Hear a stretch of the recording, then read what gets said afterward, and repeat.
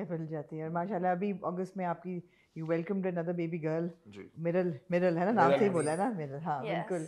तो हमारे बच्चों के नाम है अमल मुनीब बट हाँ। हाँ ये असल में ये इस वजह से है क्योंकि मुझे लगता है कि यार हमारी जो कास्ट है ना वो हमारी हमारे नामों के साथ अच्छी लगती है। हाँ क्यों नहीं? तो वो मैं तो बड़ा ओन करता हूँ मैं तो लगाता हूँ बच्चों के नाम। हाँ। और खास तौर पे क्योंकि बर्थ फॉर्म जो है वो मैंने जाके बनवाए हैं। हम्म, तो हमारी इस बात इस बारे में बात भी हुई थी तो एमन कह रही थी कि नहीं शायद यार बस सही अमल मुनीब नाम पूरा पूरा लग लगता है रहा थोड़ा छोटा था बट लेकिन ना डलवाओ। उस पे इतना स्वीट लगता है। सूट करता है नहीं नहीं अच्छा लगता है अच्छी अच्छा बात है अच्छा तो लोग कहते हैं कि शादी जब होती है उसके सात साल बाद एक सात साल वाली खुजली होती है सेवन ईयर इच जिसको कहते हैं और मर्दों को भी और औरतों को भी कि सात अच्छा। साल पे। आके कपल की रिलेशनशिप फंस जाती है कि या तो वो बोरियत की तरफ़ जाना शुरू कर देती है तो आप लोगों को ऐसा महसूस हो रहा है? अभी तो रहते हैं ना हम अभी डेढ़ साल अभी रह एक गए। साल- डेढ़ साल है।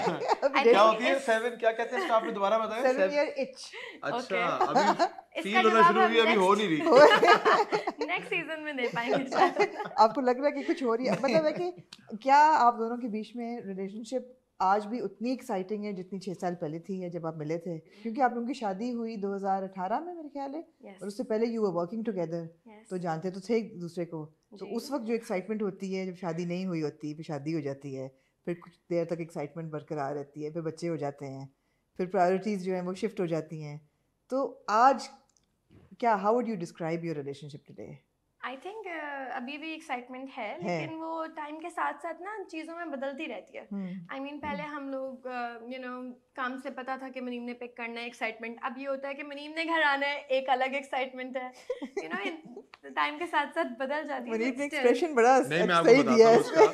एक्साइटमेंट जो होती है ना वो हाँ। देखें एज और एक्सपीरियंसेस के हिसाब से होती है। जब आप टीन एज में होते हैं जब आप छोटे होते हैं हम्म, तो एक जब छोटा होना मतलब ये कि टीन एज का रिलेशनशिप और छोटी उम्र की शादी और जब फिर आप मेच्योरिटी की तरफ़ जाते हैं बच्चों की तरफ़ जाते हैं तो वो एक अलग एक आप जो है वो फ़ेज़ में एंटर हो जाते हैं। हम्म, हम्म, मैं मुझसे अगर आप पर्सनली पूछेंगे तो वो मैं ऑनेस्टली स्पीकिंग तो मैं वो वाला फ़ेज़ मिस करता हूँ डेफिनेटली हर इंसान करता है। हम्म, क्योंकि शादी से पहले का जो एक साल होता है ना वो शादी आपकी जितनी भी अच्छी कामयाब है लेकिन वो शादी से जो मंगनी वाला पीरियड होता है true, true. हाँ, उस of जैसा कोई पीरियड ही नहीं है। तो कितनी देर रही थी मंगनी?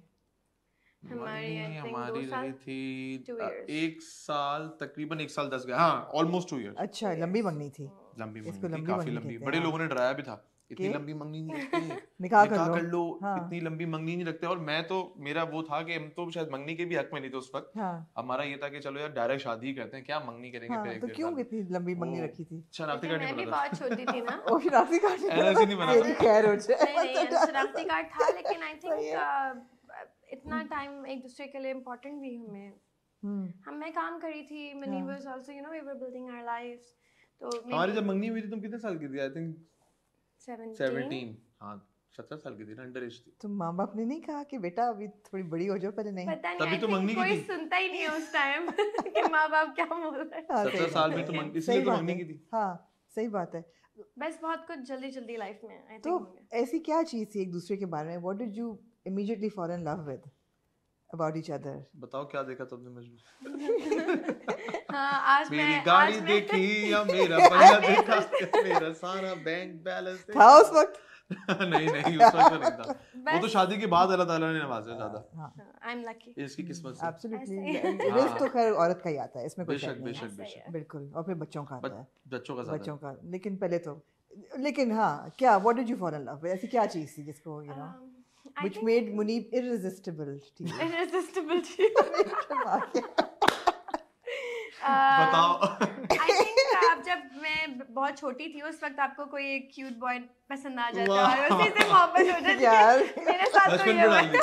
बचपन में नहीं, डाल that's बचपने पे डाल दिया ऐसे Cute। चलो अच्छा बचपने पे डाल boy is a दिया ठीक है हाँ, ठीक है थैंक यू ठीक है। फिर अब मैं सोचती हूँ कभी कभी यार मनीम तुमने मेरे साथ ऐसे ऐसे भी मज़ाक किए मैं जिसमें मनीम कहता है "मन, यार मैंने तुम्हें याद एक दफ़ा ऐसे बोला था तुमने कैसे बर्दाश्त कर लिया था? हाँ। अब तो उस वक्त बर्दाश्त कर लेता ना उस वक्त तो बच्ची थी। अब नहीं करती अब तो छोटी छोटी वो वो तो बड़ी बड़ी बातें बर्दाश्त कर जाती थी अब तो छोटी छोटी भी नहीं करती। मसलन मसलन। मसलन। मसलन क्या?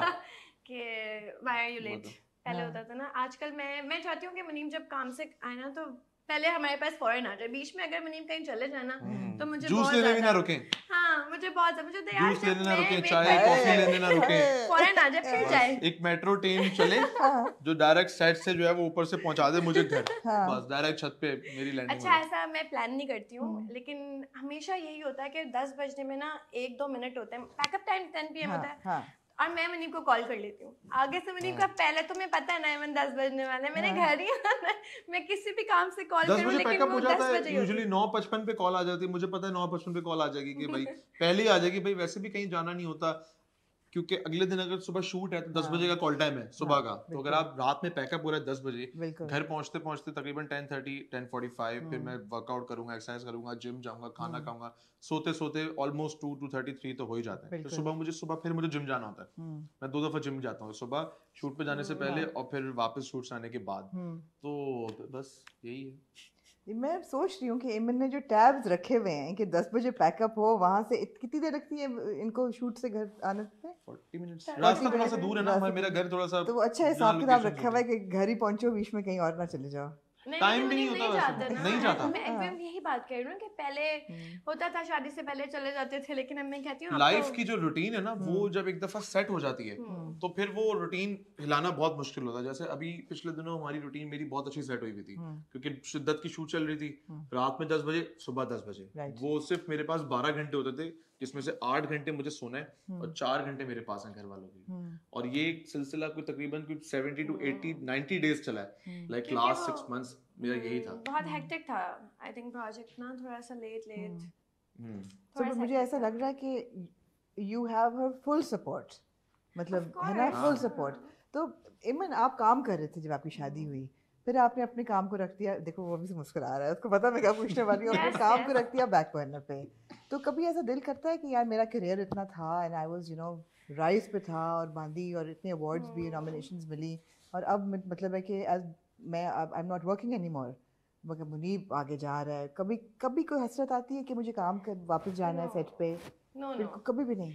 एक्चुअली uh, मुझे ऐसा लगता है कि शादी का जो एक साल था ना वो थोड़ा टफ था। हम्म, लेकिन अ, शादी के फ़ौरन बाद अमल फिर जब जो वो पीरियड भी था ना तब मैं हम्म। सोचती थी और मैं हमारी शुरू में ये बात होती थी कि यार मुनीम आई थिंक आई इसलिए नहीं कि यार आई फील कि मैं हसद कर रही हूँ यू नो हाँ ऐसा कुछ नहीं है कि मिन- मिनाल काम कर रही है मुनीम काम कर रहा है दे वर यू नो माशाल्लाह दोनों ने हम्म। बहुत अच्छा काम किया मेरी शादी के बाद मिनाल ने भी बहुत अच्छा काम। किया तो मुझे शुरू में बस ये फील होता था कि मेरी एक रूटीन थी कि मैं सुबह मुझे जाना है काम हम्म। पे सारा दिन यू नो फिर घर आएँगे and going out and working cameras एक एक ग्लैमर वाली वो लाइफ थी ना वो ब्रेक आ गया था। हम्म, तो आई थिंक उसके बाद मैं अमल में थोड़ा बिज़ी हो गई। फिर हम्म। जब अमल हुई तो फिर आई थॉट कि यार आई थिंक अभी एक आध साल मुझे थोड़ा सा बच्चों के साथ टाइम स्पेंड करना इंपॉर्टेंट भी है। वो छोटी भी थी और पता नहीं जब नहीं हुई थी ना तब शायद ये मैं बात सोचती थी कि यार अमल के हम्म। होने के बाद I go back to work but उसके बाद कभी दिल्ली नहीं चाहा अभी।